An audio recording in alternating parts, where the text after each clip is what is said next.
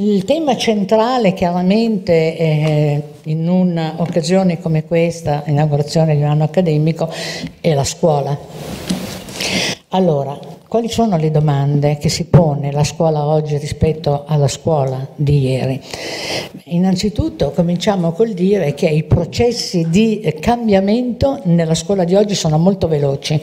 per cui richiedono un impegno progettuale nella ricerca di che cosa? Nella ricerca di quelle che possono essere le risposte efficaci che le istituzioni, i docenti, la famiglia, anche gli allievi stessi devono dare alle sfide educative poste dalla nostra società, che come sappiamo è una società complessa, molto complessa, pluralista, interculturale, quindi vi lascio immaginare. Teniamo presente che i giovani che noi prepariamo oggi sono quelli che un domani diventeranno, come dire, i top leader nelle aziende, leader nel mondo. Quindi dobbiamo, secondo me, la scuola in generale deve educarli alla capacità di analisi critica, all'indipendenza di giudizio,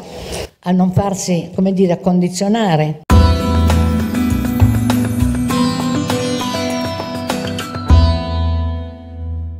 Va detto che eh, vittime, le vittime di reato rappresentano da sempre la parte più debole, più indifesa e soprattutto meno tutelata da parte dell'ordinamento giuridico. Nel momento stesso in cui si è vittima di reato si è subito un danno, non solo ingiusto, ma addirittura illecito e penalmente rilevante. La cosiddetta cultura del vittimismo demagogico ha per troppo tempo oramai proiettato in un pericoloso cono d'ombra le vere vittime indifese e talvolta indifendibili del sistema, soggetti inconsistenti, quasi invisibili ai più, costretti a dover fare i conti con sempre attuali pregiudizi sociali e con crescenti difficoltà reali che la burocrazia impone ai cittadini più deboli. La tutela giuridica di costoro è di fatto ammessa solo se si è abbastanza ricchi ed abbastanza forti psicologicamente. In alcuni frangenti verrebbe più naturale, in un contesto come quello contemporaneo, lasciar perdere, fare finta di nulla, fare un passo indietro, chinando addirittura il capo. Ma è proprio in questo momento però che le istituzioni devono assistere le vittime ed aiutarle preliminarmente a capire, ad avere consapevolezza e a non perdere la propria dignità.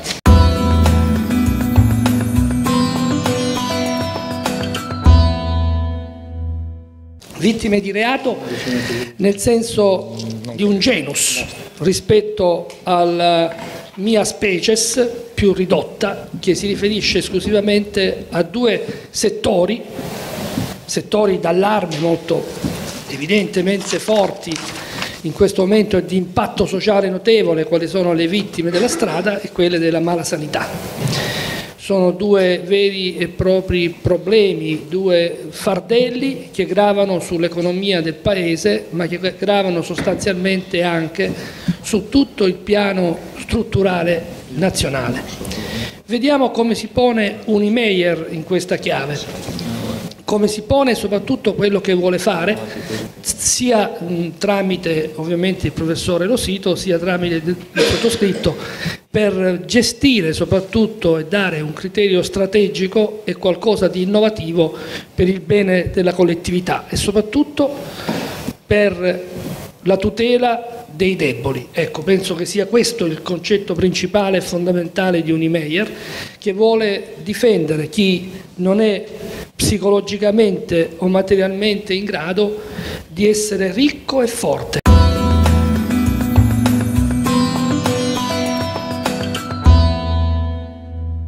Parlando di salute eh, ci si trova di fronte a una situazione nella quale spesso i giovani eh, diciamo, non hanno attenzione, non pongono attenzione, salvo i casi di disabilità, salvo i casi di malattie rare che purtroppo colpiscono anche i giovani, i giovani cosiddetti in buona salute non pensano al futuro, e però questo è un grosso limite perché eh, la salute dipende molto dai comportamenti e eh, dai comportamenti, dagli stili di vita che si hanno da giovani. Quindi un invito forte eh, va anche ai giovani ehm, nella direzione di essere consapevoli che eh, darsi delle buone regole di vita, eh, io vicino a me Giovanni Lodetti, per esempio praticare lo sport non è solo un aspetto di sport, non è solo il tema della competizione, ma è anche un, buon, un buono strumento per eh, diciamo, mh, garantire, per consolidare una buona salute in età adulta.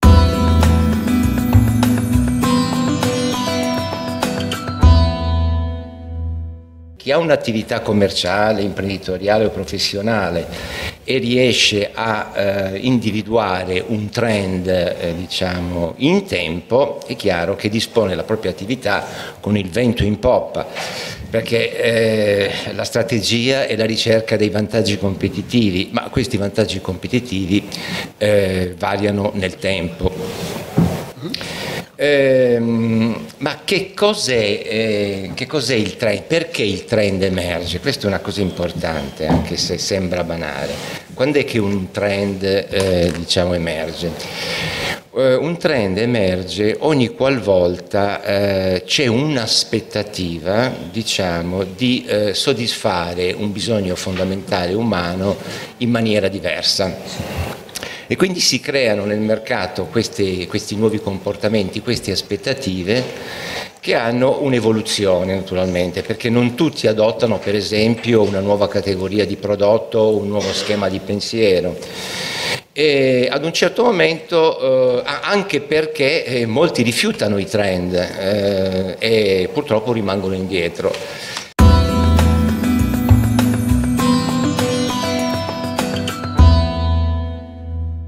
Noi abbiamo pensato, visto che ci piace entrare nel discorso di concretezza, a un paio di corsi che sono, eh, si, sono svilu- si, svilupperanno in, questo, in questi mm, inizi di attività universitaria, appunto andando a interessare due ambiti. Un ambito di prevenzione al disagio giovanile attraverso la figura di una profiler, che è una, um, un esperto nella lettura dei giochi e dell'attività sportiva, per proporre questo strumento, il gioco e l'attività sportiva, a una comunità legale che potrebbe essere interessata nella trattazione di attività di limite dei ragazzi che andando incontro al disagio possono rispondere attraverso lo strumento sportivo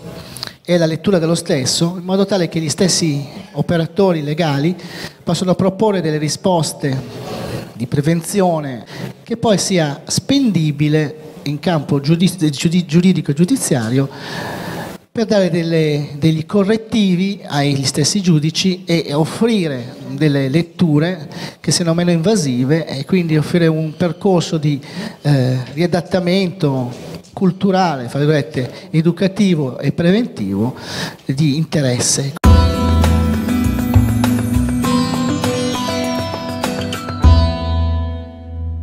Lo sport costituisce l'unico alfabeto comune tra popoli e nazioni di diverse dimensioni economiche, politiche e culturali. Basti osservare che ciò che avviene ad esempio nei centri di prima accoglienza per i rifugiati, dove un semplice spazio aperto che ricordi vagamente un campo di calcio ed un pallone rincorso da un gruppo di uomini di diversa nazionalità, lingua e credo religioso, sia sufficiente per azzerare tali diversità, per generare un sorriso e trascorrere attimi di spensieratezza. Oggi lo sport proietta la società verso sconfinati orizzonti e la permea in ogni suo aspetto. Questa doverosa riflessione è necessaria per comprendere la miriade di interessi che ormai investe lo sport ai giorni nostri e ciò vale anche per noi che ci accingiamo a inaugurare un dipartimento che si occupa di sport e che in qualche modo dovrà potenzialmente trattare gli innumerevoli argomenti nei più svariati settori che lo caratterizzano.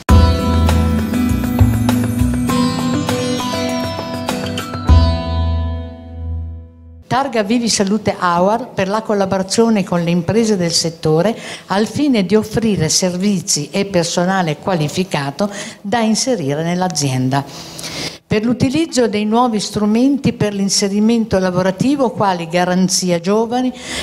dote lavoro, sistema duale, alternanza scuola-lavoro, per il costante impegno nei confronti del mondo dei giovani nell'offrire percorsi professionali per facilitare il loro inserimento nel mercato del lavoro e l'inclusione sociale. È una targa che viene data con, col cuore e veramente con la gioia di poter evidenziare persone che si spendono con tanto entusiasmo e con tanti risultati in questo settore. Io vorrei sottolineare eh, come il motivo, tra virgolette, anche di questa premiazione fa riferimento a un nostro impegno e a un percorso che abbiamo avviato. Eh, in questi anni il CAPA, che è un soggetto che ha formato circa 70.000 persone, da noi si rivolge il mondo dei giovani, è da 50 anni che c'è, per quello che è arrivato questi grossi numeri, si rivolge al mondo dei giovani, si rivolge soprattutto al mondo anche delle persone adulte che hanno necessità di avere un nuovo progetto di vita e di reinserimento lavorativo. Sulla base di questo da due anni a questa parte abbiamo introdotto le politiche attive, quindi stiamo accompagnando, non solo formando, ma accompagnando verso il mercato del lavoro le persone attraverso le strumentazioni e soprattutto arriveremo a un risultato finale nel giro di un annetto avviando anche un processo di eh, attuazione di acceleratore di impresa, quindi accompagnare sia i giovani sia gli adulti all'avvio di impresa, mettendo a disposizione il nostro know-how e le tecnologie di cui disponiamo. Quindi raccogliamo davvero con piacere e ci auguriamo che ci sia da oggi una sostanziale collaborazione con eh, eh, l'associazione.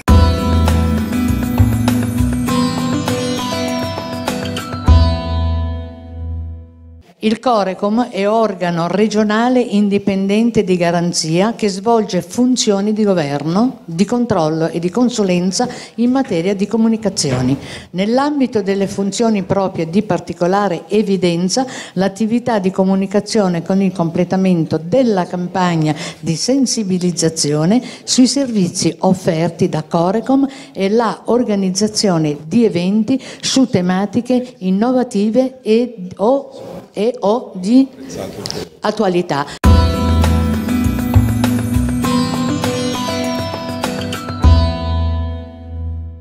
Scrittore, economista e critico della sostenibilità dell'arte e della cultura, titolare di prestigiosi incarichi accademici in Italia e all'estero, opinionista televisivo e tra i più famosi e attivi manager culturali milanesi impegnati con successo nel promuovere l'Italian style nel mondo, tanto da essere definito dalle principali testate giornalistiche, tra virgolette, ambasciatore del Made in Italy nel mondo. Tra le sue molteplici iniziative di successo, il libro Management etico, principi e fondamenti e il film Giants in Milan, arte sostenibile, prodotto nel 2016 in collaborazione con il Comune di Milano. Questa targa così è un po' tra virgolette inaspettata ma nasce in realtà poi da un momento di collaborazione con Unimeyer perché l'amica Dea mi dice abbiamo pensato di, di, fare un nuovo dipartimento del turismo, io mi occupo di sostenibilità da tanti anni, anzi con Elio Borgonovi ricordavamo prima che facciamo dei bellissimi eventi in cattolica con altri colleghi. E quindi un turismo nuovo che non nasce da, uh, da un'idea un po' sorpassata, cioè turismo come spostamento di persone da un luogo ad un altro per un motivo culturale, mm, di qualsivoglia motivo anche di business, ma turismo come incontro. Il viaggio è un incontro e dal viaggio noi dobbiamo uscire migliorati, edificati, quindi il turismo prevede l'incontro con la cultura, l'incontro con l'arte c'è un grosso afflusso di pazienti nelle nostre aziende di eccellenza da parte di tutta Italia e in questo momento anche da parte del sud dell'Europa. Noi siamo molto bravi, all'estero ci apprezzano anche per questo sistema perché quando vengono a Milano delegazioni da tutto il mondo la domanda che fanno a noi è ma come fate, visto che non avete un terzo pagatore e che paga tutto lo Stato, come fate a farlo? È incomprensibile, ad esempio per i giapponesi il nostro servizio sanitario nazionale è incomprensibile, diventa difficile pure spiegarglielo. Questo è il servizio sanitario migliore al mondo, migliore, non è neanche il secondo. Perché il migliore al mondo? Perché forse tecnologicamente abbiamo qualche pecca rispetto so, ai mostri degli Stati Uniti. Ma noi qui curiamo tutti e li curiamo gratis.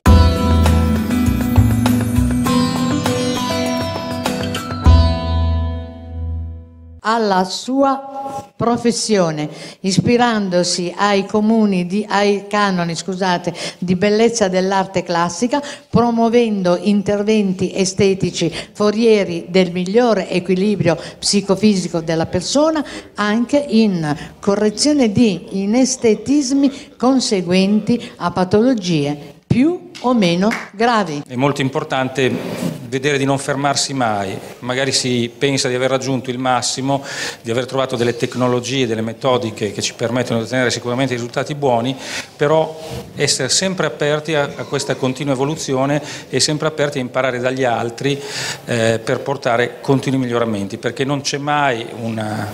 non si raggiunge mai la sommità del sapere, ma bisogna essere sempre aperti a continue esperienze e imparare da tutti eh, delle nuove tecnologie e quanto di meglio si può portare per avere un'assistenza migliore al paziente. Per me è veramente un grandissimo piacere eh, premiare eh, un professionista di tanto profilo e eh, così eh, voglio dire dedicato al benessere vero dei pazienti. Eh, noi sappiamo quanto la sanità oggi eh, abbia necessità di esempi di buona sanità e oggi in questo convegno è emerso con tutta la forza possibile l'importanza di guardare al futuro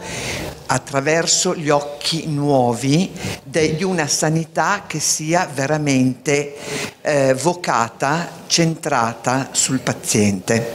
sui suoi bisogni, sulla sua necessità di salute.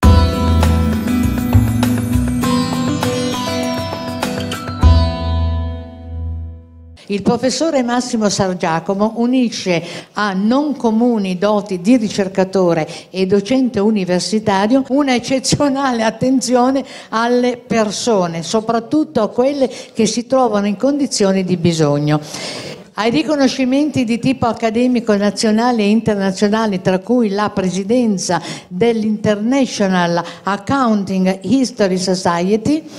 ha ottenuto la medaglia della Croce Rossa italiana di prima classe nel 2013 per il contributo dato durante la gestione dell'emergenza e della transizione del post terremoto d'Abruzzo. Il suo alto senso critico è stato riconosciuto dalla città di Pescara con il premio Città d'Oro 2013. Oltre a moltissime pubblicazioni in tema di salute, è stato componente del Comitato Nazionale per la Bioetica, CNB, presso la Presidenza del Consiglio dei Ministri dal 2013, nel cui ambito ha coordinato la stesura di documenti e su difesa del sistema sanitario nazionale, immigrazione e salute, stili di vita e tutela della salute, le demenze e la malattia di Alzheimer. Massimo, oltre che essere eh, un, uh, diciamo un uh, docente di prima classe, classe come la medaglia della Croce Rossa è una persona che ha una umanità, un senso di umanità profondo, un senso dell'amicizia smisurato e quindi credo che il premio vada soprattutto alla persona di Massimo San Giacomo oltre che allo studioso. Negli ultimi anni ho avuto l'opportunità eh, di lavorare anche come coordinatore eh, capogruppo nella stesura del parere eh, in difesa del sistema sanitario nazionale. Questo parere che trovate sul uh, sito web di Palazzo Chigi recita purtroppo una situazione eh, un po' a macchia di leopardo, se mi è consentito dire. Eh, sicuramente una situazione in cui inizialmente viene dipinta come cronaca di una morte annunciata. Dobbiamo andare avanti, dobbiamo andare avanti sapendo che le sfide sono sempre più difficili da affrontare, però se ce la mettiamo tutta e se soprattutto collaboriamo potremo vincere, potremo avanzare, potremo cercare di mantenere no, non solo le persone più a lungo in vita, ma le persone con una qualità di vita migliore, ma soprattutto quello che conta è mettere insieme scienza, coscienza e tanta passione per sé e per gli altri.